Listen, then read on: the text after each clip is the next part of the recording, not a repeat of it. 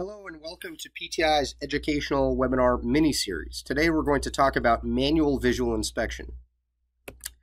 So first, let's talk about package integrity. This is the characteristic of a package, its ability to prevent the product loss as well as maintain product sterility for the product's shelf life. Um, it, it's something that is dynamic too. So if we're measuring for package integrity today, uh, we, you may not have it two weeks from now based on what the package has endured during that that process or that life cycle. But really, that's that's the definition of package integrity, and we often look at at that classification in terms of the maximum allowable leakage limit, or MALL, M-A-L-L. And the MALL, this is a figure that uh, set based on what is the appropriate level of leakage for a certain package all package formats leak. It's just a matter of how much is it allowed to leak so that it still does not uh, produce a product loss issue or a failure of product sterility.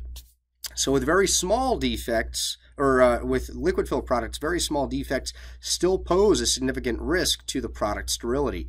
In this graph here, you can see how defects below 10 microns still pose a very high percentage uh, high percentage risk of container closure uh, integrity failure, steril sterility failure.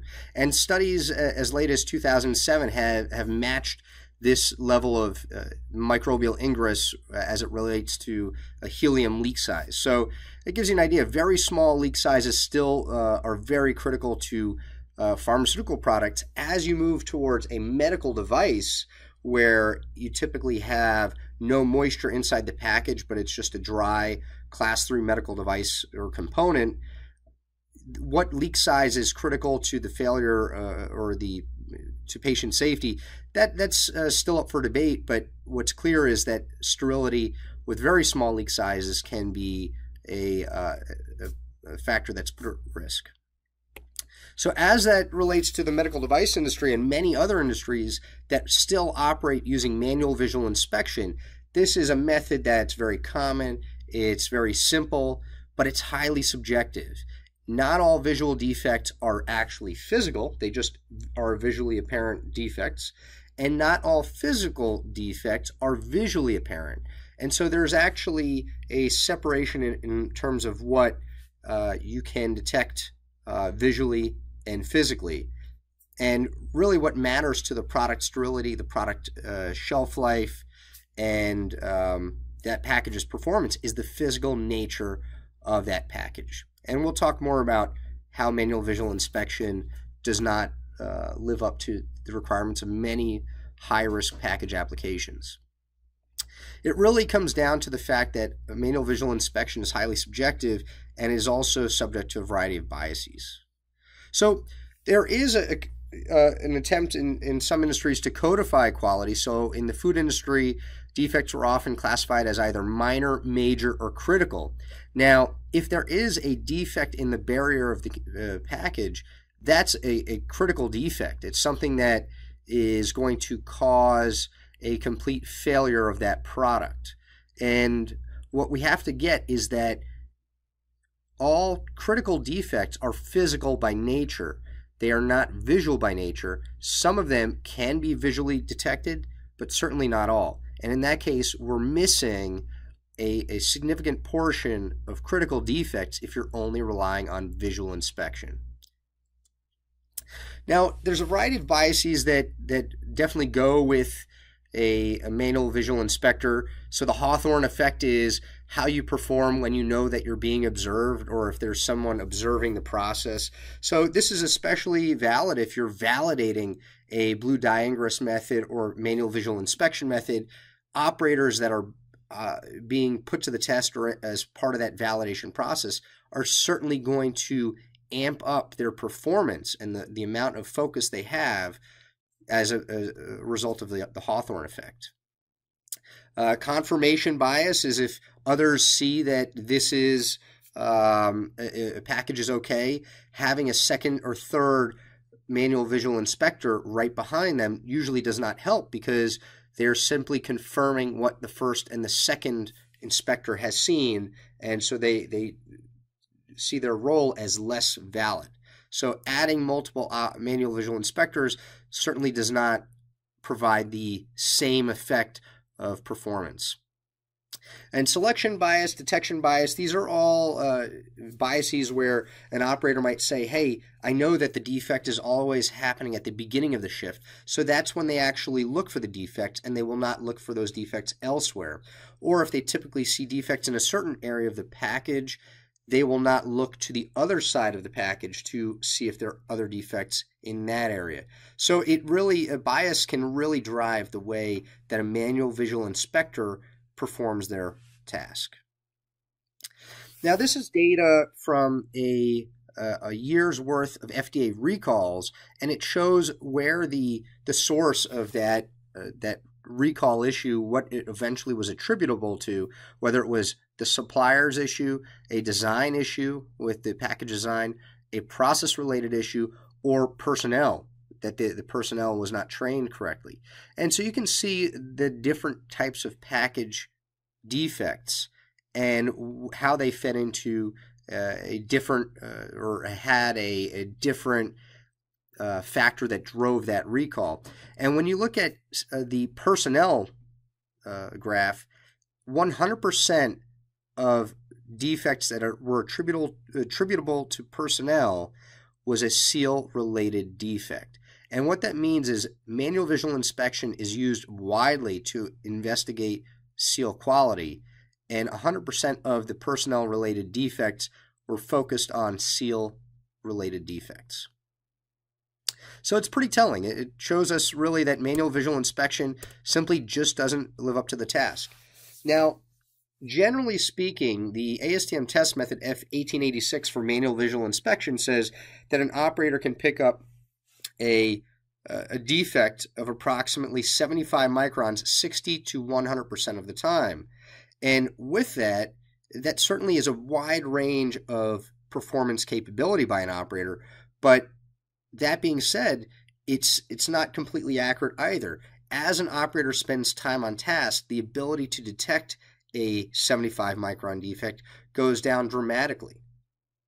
Now, some medical device operations will actually stack one manual visual inspector behind the next, behind the next, hoping for an increased or improved performance.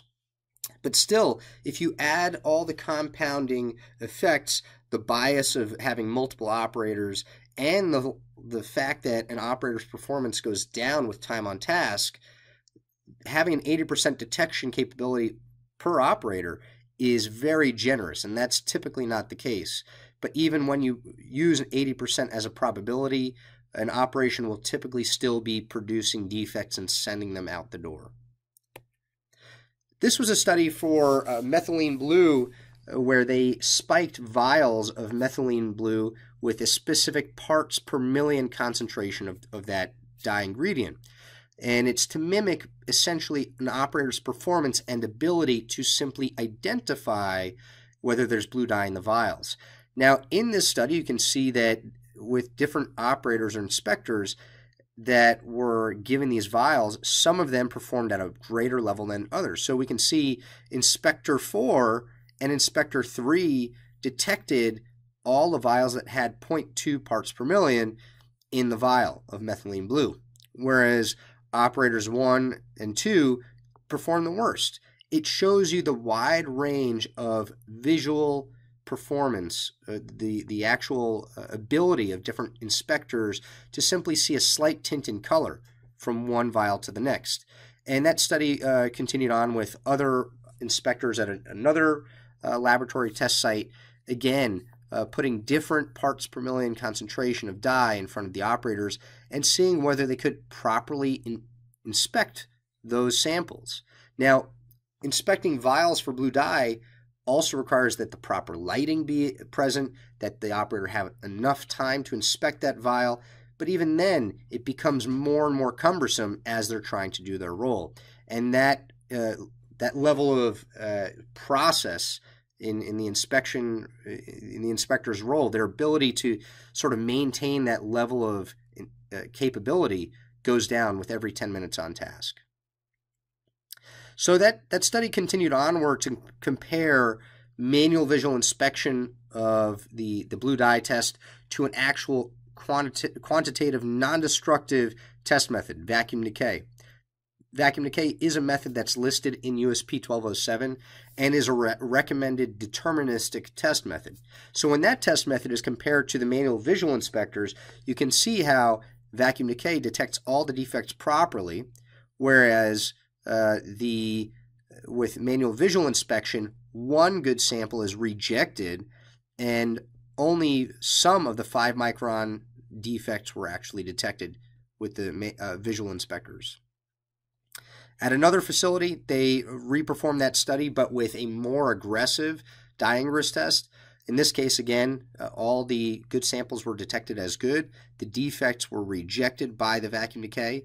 But because it was more aggressive, in fact, there was uh, a destructive nature to the test, and blue dye was entering the container. But really, the the operators they are relying we're relying on these operators to apply their judgment and that lack of ability to do that time and time again, day in and day out, just is a festering failure of quality uh, beneath the surface that you may or may not know is causing an issue today, but eventually the inability of operators to properly identify defects will add up and causes some issues. So you can look at other more deterministic test methods instead of uh, inspecting a seal visually uh, with a, uh, a, manual operator, you can inspect those seals using a technology such as ultrasound in a production line. And that you can do 100% online. Many of these technologies can be deployed 100% online, but most importantly, they provide reliable quantitative data that's going to tell you if your package has a critical to quality issue.